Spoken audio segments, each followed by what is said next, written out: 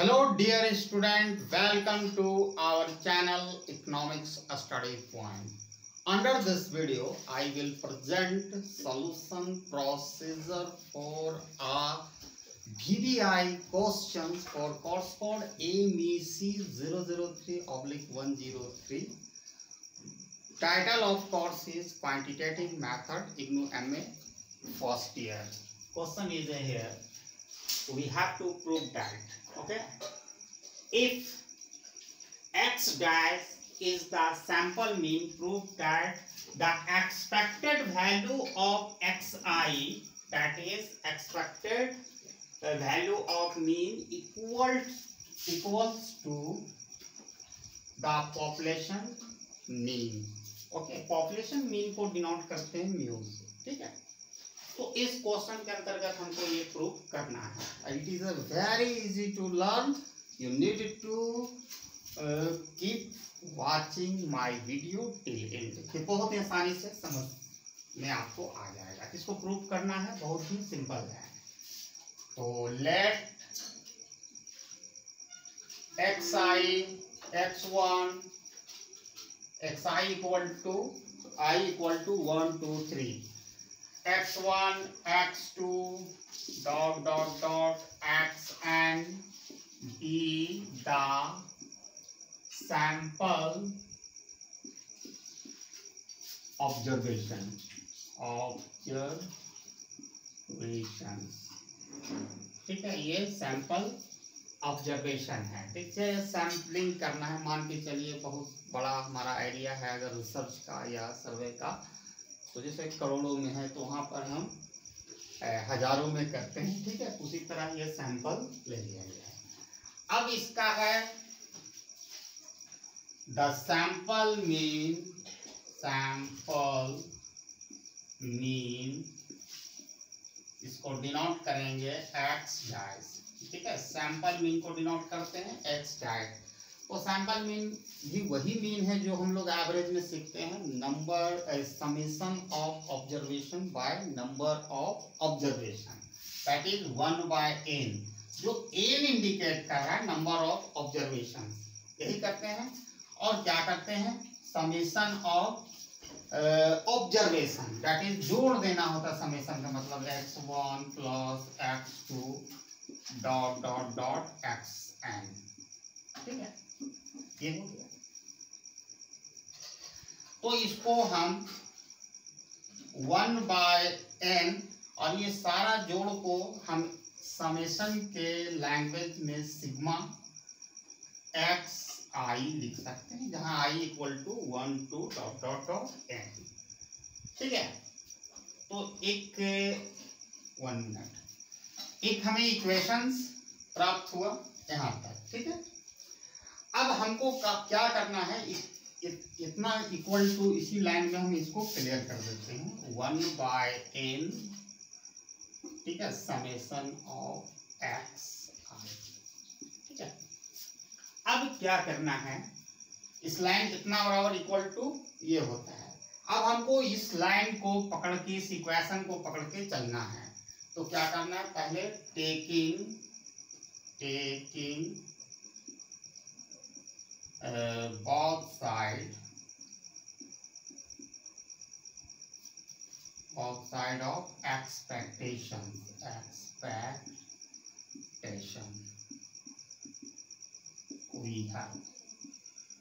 ठीक है दोनों तरफ़ एक्सपेक्टेड एक्सपेक्टेशन ले रहे हैं यानी expected value of mean x dash equal to ठीक है expected value 1 by n x1 plus x2 plus dot dot dot, xn. ठीक है? अब इसको अहेड काम करना है तो हम वन बाय एन को बाहर निकाल लेते हैं। ठीक है? उसके बाद expected value of x1 plus x2 plus dot dot dot x लिखते हैं, ठीक है? यहाँ तक आ गया। तो ये लाइन को आपको हम फ्यूचर रेफरेंस के लिए रखते हैं, ठीक है? बाकी हमें जगह की थोड़ा सा पॉजिटिव हो रही है, इसलिए मैं क्वेश्चन को मूव करना है। मतलब हमें प्रूव करना है expected mean equal to mu that is population mean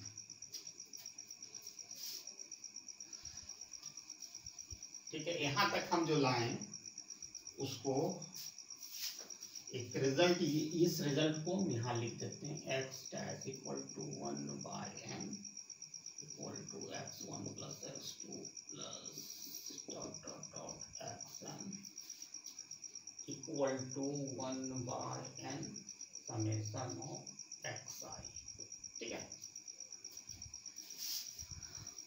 वो रिज़ल्ट को वहाँ लिख लिए हमने दोनों तरफ़ एक्सपेक्टेशन लिया है तो ये रिज़ल्ट यहाँ तक आया है। जो आया है, यहाँ पर मैं लिखता हूँ।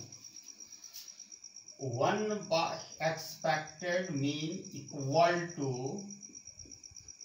one by n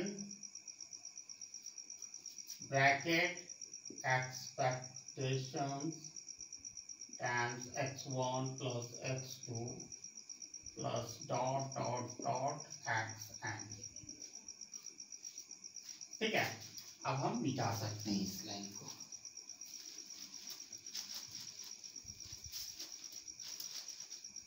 अब इसको सेपरेटली हम इस तरह लिख सकते हैं। One by n okay of x one plus expected value of x two plus dot dot dot plus expected value of x n ठीक है? ब्रैकेट को बंद कर देते हैं। अब यहाँ थोड़ा सा ध्यान देने की ज़रूरत है। वन बाय एन तो बाय डिफ़ॉल्ट होगा ही।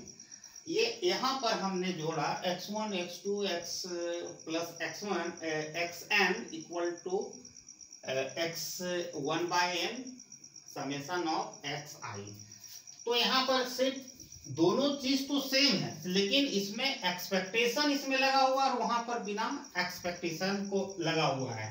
तो इसको हम लिख सकते हैं समेशन तो होगा ही उस फॉर्मूला के अनुसार। और यहाँ पर ई e लगा देते हैं expected value of x i हो सकता है sorry summation of yes expected value of x i बहुत सिंपल है, एक बार आप समझने की कोशिश कीजिए। सिर्फ़ यही चीज़ को मैं यहाँ पर लिखा हूँ। एक इसमें अंतर यह है कि इसमें एक्सपेक्टेड वैल्यू आ गया है, जिसके कारण ई e को मैंने लिखा हूँ। बाकी वही फॉर्मूला है। यहाँ तक मैंने expected value of mean equal to निकाला। ठीक है? अब थोड़ा सा यहाँ पर ध्यान देना है। पॉपुलेशन पॉपुलेशन मीन ठीक है? पॉपुलेशन मीन को हम म्यू से इंडिकेट करते हैं डिनोट करते हैं तो इसके बराबर क्या होता है? One by n summation of expected value of x i ठीक ये होता है।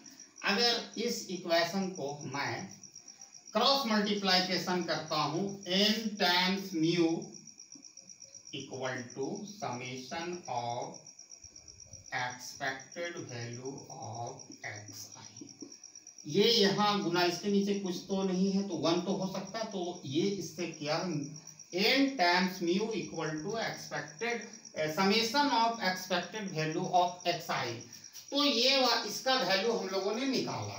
तो इसका वैल्यू हम लोगों ने क्या निकाला? यहाँ पर एन टाइम्स म्यू ठीक है? इंटू n times म्यू तो n n cancel equal to mu. That is the expected value of mean. Okay, mean equal to population mean that is mu. जो mu को किस चीज़ से इंडिकेट करते हैं? Population mean I hope everybody got the concept very easy to learn it इसे बहुत आसानी से मैंने प्रयास किया हूँ इस, इस वीडियो के अंतर्गत बताने के लिए।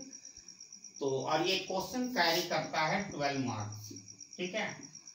तो बेस्ट ऑफ़ लक और अपकमिंग योर एग्जामिनेशन ठीक है? Thanks for watching my video till जय हिंद